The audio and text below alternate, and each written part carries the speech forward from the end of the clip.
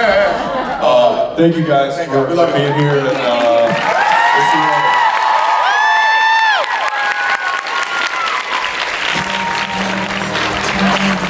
you